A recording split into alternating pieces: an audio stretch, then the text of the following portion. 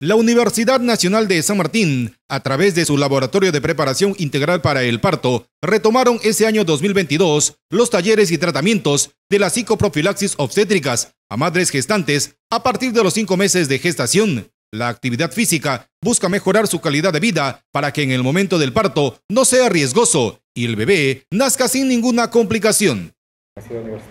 Bien, como parte de las, de las actividades de proyección a la comunidad, la Universidad Nacional San Martín, con su laboratorio de preparación integral para el parto, viene brindando estas actividades a la comunidad. En esta oportunidad, la asignatura de preparación integral para el parto está desarrollando talleres dedicados a gestantes, ¿no? con la participación de los alumnos.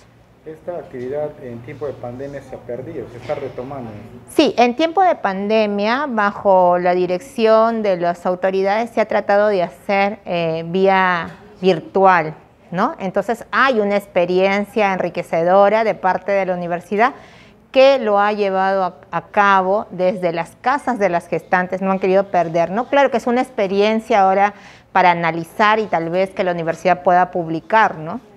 ¿Cuál es la finalidad de todo este trabajo?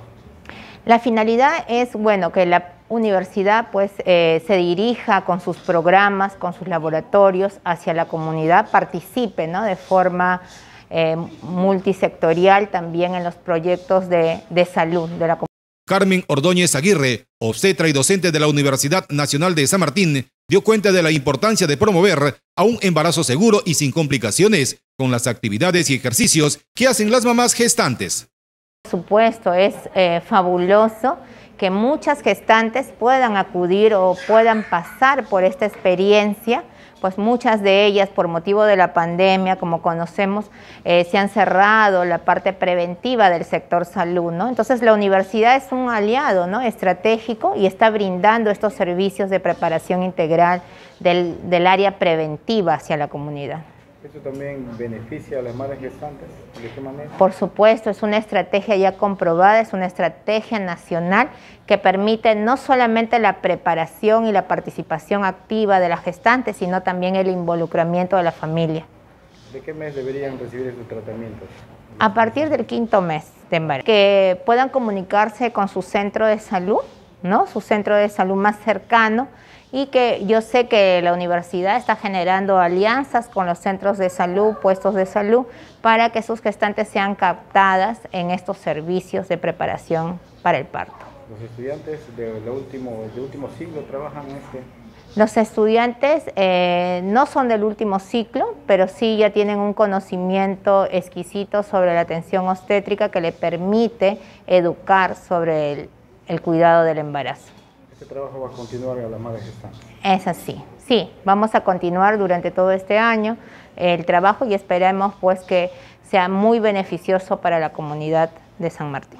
Esto también genera eh, también a las madres gestantes para evitar un parto normal, no riesgoso.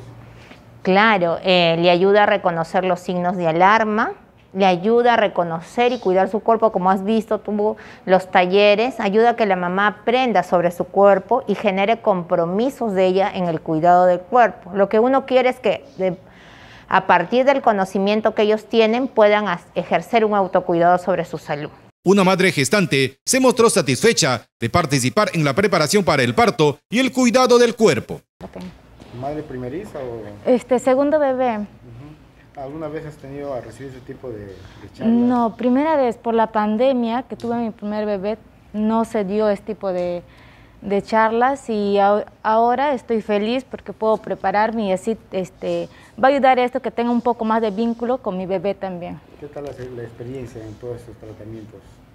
Este, siento que va lindo, me ayuda a interactuar también, conocer personas y cómo interactuar con mi bebé, aprender nuevas cosas. ¿Recomendarías a las madres gestantes a recibir este tipo de charlas? Claro, le recomendaría a las mamitas, así aprendemos este, cómo estimularnos, cómo cuidarnos y también cómo prevenir muchos riesgos para más adelante que podemos tener.